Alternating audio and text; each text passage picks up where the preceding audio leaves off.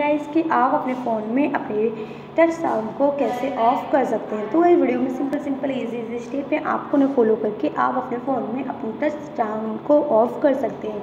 तो ये वीडियो की जानकारी के लिए वीडियो लास्ट ज़रूर देखना। ये वीडियो शुरू करते हैं।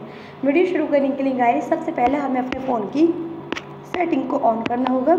ऑन करने के बाद गाइस आपको इस तरीके का इंटरफेस देखने को मिल जाता है। तो यहाँ पर आपको ऑप्शन देखने को मिल जाता है। साउंड एंड वाइब्रेशन तो हम उस पर क्लिक कर देना है। क्लिक करने के बाद यहाँ पर आपको ऑप्शन देखने को मिल जाता है एडवांस तो हमें एडवांस पे क्लिक कर देना है। क्लिक करने के बाद यहाँ पर आपको गाइस कई सारे ऑप्शन देखने को मिल जाते हैं तो हमें नीचे आ जाना नीचे आपको ऑप्शन देखने को मिल जाता है टच साउंड तो गाइस हमने जो टच साउंड को अपने फ़ोन में अपने इनेबल किया था तो हम उसे ऑफ़ करना चाहते हैं तो उसके लिए हमें टच साउंड के ऑप्शन को ऑफ़ कर देना है। तो गाइस इस तरीके से आप अपने फ़ोन में अपने टच साउंड को ऑफ़ कर सकते हैं। तो गाइस वीडियो पसंद आई हो तो शेयर करें लाइक करें, चैनल पर नए हो तो चैनल को सब्सक्राइब करें। मिलते हैं अगली नेक्स्ट वीडियो में। तब तक के लिए bye bye and take care